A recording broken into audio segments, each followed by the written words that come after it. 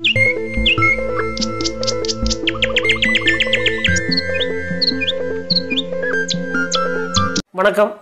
இன்னைக்கு எந்த புத்தகத்தை பற்றி பேச போகிறோன்னா மைண்ட் ஓவர் மெடிசன் ஒரு ஆங்கில மருத்துவர் டாக்டர் ரிசா ரேங்கிங் அமெரிக்காவை சேர்ந்த ஒரு ஆங்கில மருத்துவர் எழுதின புத்தகம். அவங்க எம்டி முடித்தவங்க ஒரு மருத்துவத்தில் மாஸ்டர் டிகிரி முடிச்சுட்டு ஆயிரத்தி தொள்ளாயிரத்தி ஐம்பதுகளில் மருத்துவராக பணியை செஞ்ச ஒரு சீனியர் மருத்துவர் தன் வாழ்நாளில் தன் மருத்துவ சேவையில் தான் எதிர்கொண்ட மருத்துவத்துக்கும் மனதுக்கும் என்ன தொடர்புங்கிறத ஒரு பெரிய புத்தகமாக எழுதியிருக்கிறாங்க. அதை புரிஞ்சுக்கிட்டாவே மருத்துவம் இல்லாத ஒரு நிலைக்கு நம்ம போயிடலாங்கிற விஷயத்தை அற்புதமாக அந்த புத்தகத்தின் மூலம் பதிவு பண்ணியிருக்காங்க.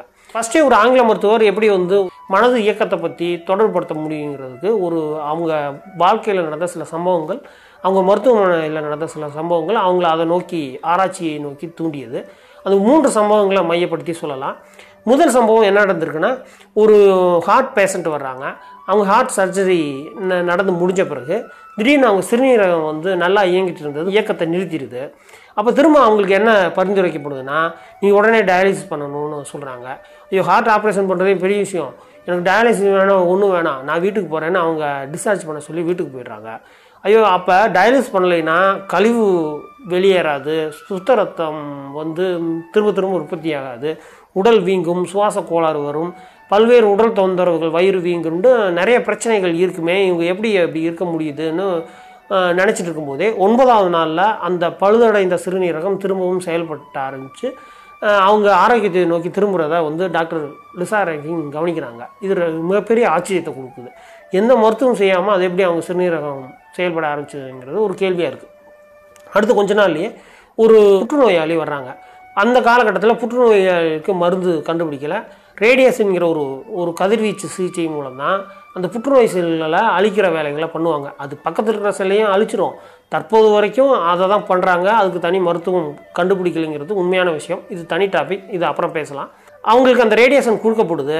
ரேடியேஷன் கொடுக்கப்பட்ட பிறகு தான் கவனிக்கிறாங்க. அந்த ரேடியேஷன் கொடுக்குற மிஷின் வேலை செய்யல. ரேடியேஷன் நடந்த மாதிரி ஒரு மானிட்டரில் காட்டியிருக்கு. கவனிக்கிறாங்க. ஆனால் ரேடியேஷன் கொடுக்கப்பட்டவங்களுக்கு எப்படி புற்றுநோய் செல் கரைஞ்சு அழிஞ்சு போயிருமோ அது மாதிரியும் அவருக்கு வந்து புற்றுநோய் செல்லாம் கரைஞ்சு போயிருக்கு. அப்போ ரேடியேஷன் இல்லாமலே வந்து ரேடியேஷன் கொடுக்கப்பட்டதா நம்பின அந்த பேஷண்ட்டுக்கு உண்மையிலே அந்த விளைவுகள் ஏற்படுது. இதில் இன்னொரு பாசிட்டிவ் ரேடியேஷன் கொடுக்கப்பட்டதுனால நோயாளி உடம்புல பல்வேறு தொந்தரவுகள் வெளிப்படும். அந்த பிரச்சனை அந்த நோயாளிக்கு இல்லாமல் கொஞ்சம் பூர்ண குணம் அடைஞ்சிருக்காரு இந்த விஷயமும் அவரை ஆச்சரியப்பட வச்சிருக்கு. அடுத்து இந்த ரெண்டு சம்பவங்கள் நடந்துருக்கும் போது இன்னொரு கேன்சர் பேஷண்ட் வர்றாரு. வந்து அவரை சோதிச்சு பார்க்கும்போது முத்திய நிலை கடைசி ஸ்டேஜில் இருக்காரு. இந்த காலகட்டத்தில் உங்களை குணப்படுத்த முடியாதுன்னு கைவிரிச்சிடுறாங்க மருத்துவர். இருந்தாலும் புதுசாக ஒரு ரிசர்ச் பண்ணிட்டு இருக்காங்க ஒரு மருந்தை பற்றி அமெரிக்காவில் அதை வாங்கி எனக்கு போட்டு விடுங்கன்னு கட்டாயப்படுத்துறாரு. எவ்வளோ சொல்லி பார்க்குறாங்க? ஒரு ம மருந்து வந்து அதை வந்து ஆய்வுக்கு உட்படுத்தப்பட்டு விலங்கு ஆய்வு மனித ஆய்வுன்னு பல கட்ட ஆய்வு முடிஞ்சு பல வருடங்கள் கழித்து தான் பயன்பாட்டுக்கு வரும்.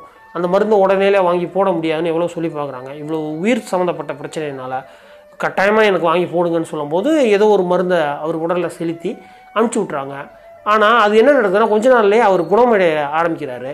கொஞ்ச நாள் கழிச்சு அந்த மருந்து கண்டுபிடி கண்டுபிடிக்கிற விஷயத்தில் ஆய்வுகளில் ஏதோ தொய்வு ஏற்பட்டதா செய்தித்தாளில் நியூஸ் பார்க்குறாரு. திரும்பவும் அந்த மருந்தில் ஏதோ பிரச்சனையாமே என்னாச்சு என் உடம்பு இன்னும் சரியாக இருக்கான்னு வந்து டெஸ்ட் பண்ண சொல்கிறாரு திரும்ப வந்து அவருக்கு அந்த கேன்சர் நோய்த்தன்மை குறைஞ்சது. மீளவும் வந்து ஒரு நோய்த்தன்மை அதிகரிச்சிருக்கு. அப்போ டாக்டர் லிசா ரேங்க்கும் ஒன்று புரியுது. உளவியலாக சைக்காலஜியில் ரெண்டு வார்த்தை சொல்லுவாங்க. பிளாசிப்போ நோசிப்போன்னு பிளாசிப்போனால் நன்மை செய்யும் விளைவு மனதில் ஏற்படுறது. போனால் தீமை செய்யும் விளைவு. இதுதான் நோயாளியாக வந்து அந்த கேன்சர் பேஷண்ட் மனசில் ஏற்பட்டிருக்குன்னு புரிஞ்சுக்கிட்டேன் அந்த லிசா ஒரு நார்மல் குளுக்கோஸ் வாட்டர் எடுத்து இதான் மருந்து அதை நாங்கள் சரியாக ப்ரிசர்வேட் பண்ணலை. ஃப்ரிட்ஜில் வச்சு கரெக்டாக அதை பாதுகாக்கல இப்போ கொஞ்சம் மேம்படுத்தப்பட்ட மருந்து உங்கள் உடலில் செலுத்தி விட்றோம். உங்களுக்கு சரியாயிரும் இன்னும் போட்டு விட்டுறாங்க. போட்டு விட்ட பிறகு கொஞ்ச நாளில் அவர் உடலை சோதிச்சு பார்க்குறாங்க.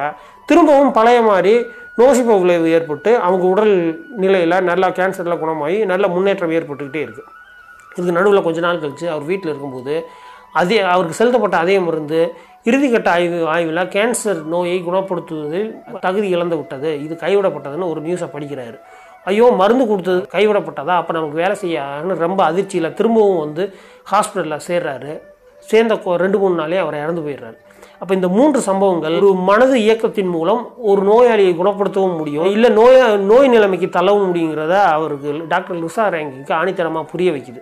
சக மருத்துவர்கிட்ட இதை பற்றி சொல்கிற சொல்கிறாங்க இதெல்லாம் மருத்துவத்தை தாண்டிய விஷயம். இதை போட்டு நீ ஆராய்ச்சி பண்ணீங்கன்னா உனக்கு குழப்பம் தான் மிஞ்சும்.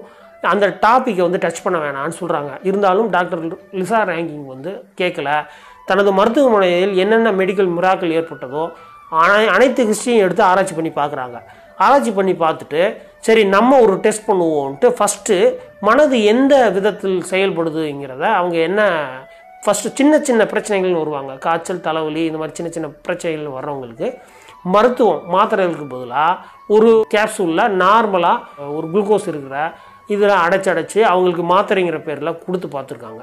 உண்மையிலே ஒரு ஐம்பது பேஷண்ட்டுக்கு உண்மையான மாத்திரை மருந்துகளையும் இன்னொரு ஐம்பது பேஷண்ட்டுக்கு குளுக்கோஸ் அடங்கிய சாதாரண கேப்சூலையும் கொடுத்து டெஸ்ட் பண்ணி பார்த்துருக்காங்க. ரெண்டு பேருக்குமே ஒரே உடலில் மாற்றங்கள் நடந்ததை அவங்க ஆய்வு முடிவில் பதிவு பண்ணுறாங்க அப்போ என்ன முடிவுக்கு வராங்கன்னா மனதின் இயக்கம் மருந்துகளை விட மேலானதுன்னு ஒரு முடிவை எழுதுறாங்க. அடுத்து சரி அப்போ மருந்தை டாமினேட் பண்ணி மனசு இயங்குது. அடுத்து மருந்தை விட உயர்ந்தது ஹார்மோன் தான். அப்போ ஹார்மோனில் இது வேலை செய்யுதான்னு பார்க்கலான்னு இந்த தைராய்டு பிரச்சனை இன்சுலின் போட்டுக்கிற பேஷண்ட்டுக்கெலாம் என்ன பண்ணுறாங்க அவங்கள ரெண்டாக பிரித்து ஒருத்தருக்கு ப்ராப்பராக வந்து ஆர்டிஃபிஷியலாக இன்சுலின் இந்த மாதிரி ஹார்மோனை கொடுக்குறாங்க.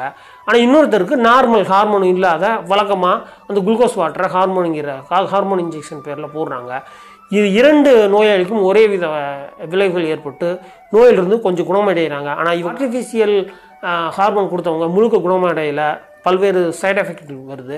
மருத்துவம் அல்லாத வெறு வெறு வந்து குளுக்கோஸ் வாட்டரை ஏற்றி விடப்பட்டவங்களுக்கு நல்ல விதத்தில் இவங்களோட ஸ்பீடாக குணமடைகிறாங்க சைடு எஃபெக்ட் இல்லைங்கிறத கண்டுபிடிக்கிறாங்க. அடுத்து சரி அப்போ மனம் வந்து மருந்தை விட வேளானது.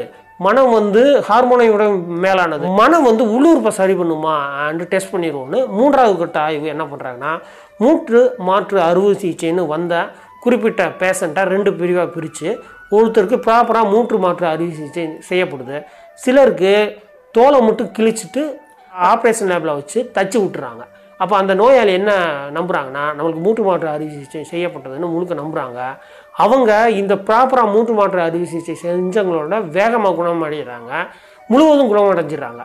வ- நமது முன்னாள் பிரதமர் வாஜ்பாய் கூட மூன்று மாற்று அறுவை சிகிச்சை செஞ்சு அவருக்கே சக்ஸஸ் ஆகலை. பெரும்பாலும் இது சக்ஸஸ் ஆக முடியறது சின்ன சின்ன தொந்தரவுகளோட தான் அந்த மனிதன் மு முழுமையாக வாழ வேண்டியிருக்கு. ஆனால் இந்த முழுக்க உடலே அதை சரி செய்யும் போது முழுமையான ஒரு தீர்வை அது மனது மூலம் கொடுக்குறதுங்கிறத அப்சர்வ் பண்ணுறாங்க அப்போ மனது மருந்தை விட மேலானது ஹார்மோன்களை விட மேலானது உள்ளுறுப்புகளையும் சரி செய்யக்கூடியதுங்கிற மூன்று விஷயத்தை அவங்க அந்த புத்தகத்தில் பதிவு பண்ணுறாங்க அது மூலம் அவங்க என்ன சொல்கிறாங்கன்னா நீங்கள் ஒரு டெஸ்ட்டுங்கிற கோர்வையில் உச்சந்தளம் உள்ளங்கால் வரைக்கும் எல்லா உறுப்புகளையும் டெஸ்ட் பண்ணி உங்கள் பாடி வெயிட்டை பேலன்ஸ் பண்ணி நீங்கள் நீ உங்கள் சுகர் லெவல் ப்ரெஷர் லெவல் எல்லாத்தையும் பேலன்ஸ் பண்ணி கரெக்டாக இருந்தாலும் அதையும் தாண்டி உங்கள் மன இயக்கம் மூலம் எந்த நோய் உங்களுக்கு வரக்கூடாதுன்னு நினைக்கிறீங்களோ அதே நோய் வர்றதுக்கும் வாய்ப்பு இருக்குது நீங்கள் இறப்பை நோக்கி போகிறதுக்கும் வாய்ப்பு இருக்குங்கிற ஒரு ஒரு வித்தியாசமான கருத்தை அந்த புத்தகத்தில் பதிவு பண்ணியிருக்காங்க.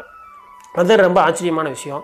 அதனால் அவங்க என்ன சொல்கிறாங்கன்னா ஒரு அஞ்சாறு பாயிண்ட் சொல்கிறாங்க அதில் முக்கியமான பாயிண்ட்டை தான் திரும்ப திரும்ப அதை பதிவு பண்ணுறாங்க உடல் தன்னைத்தானே குணப்படுத்தி கொள்ளுங்கிறது இயற்கை விதி. அதை முழுமையாக நூறு சதவீதம் நீங்கள் நம்புனா எந்த மருத்துவமும் தேவையில்லை. அப்போ அந்த மெடிக்கல் முறாக்கள் எல்லா மக்களுக்கும் ஏற்பட்டுச்சுன்னா மருத்துவம் இல்லாத உலக படைச்சிடலாம். மருந்து தேவையில்லை. எளிமையாக எல்லா மக்களும் இதை புரிஞ்சுக்கிட்டாவே மருத்துவம் இல்லாத உலகத்தில் வாழ முடியும். தன்னைத்தானே குணப்படுத்திக்க முடியுங்கிற விஷயத்தை அற்புதமாக இந்த புத்தகம் பதிவு பண்ணுது. ரொம்ப மருத்துவ உலகத்தில் ஒரு ஆங்கில மருத்துவர் மன இயக்கம் பற்றி எழுதின அற்புதமான புத்தகம்.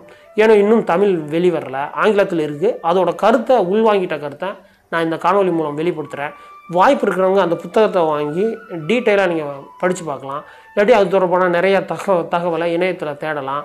இல்லை நல்ல ஆங்கில மருத்துவர்கிட்ட இதை பற்றி கேட்டு தெரிஞ்சுட்டு உங்கள் மன இயக்கத்தை மேம்படுத்துவது மட்டுமே உங்களை ஆரோக்கியத்தை நோக்கி திருப்புங்கிறது நான் நம்புகிறேன் அதை நோக்கி என் வாழ்க்கை பயணம் இருக்குது வாய்ப்பு இருக்கிறவங்க இதை பயன்படுத்திக்கோங்க. நன்றி.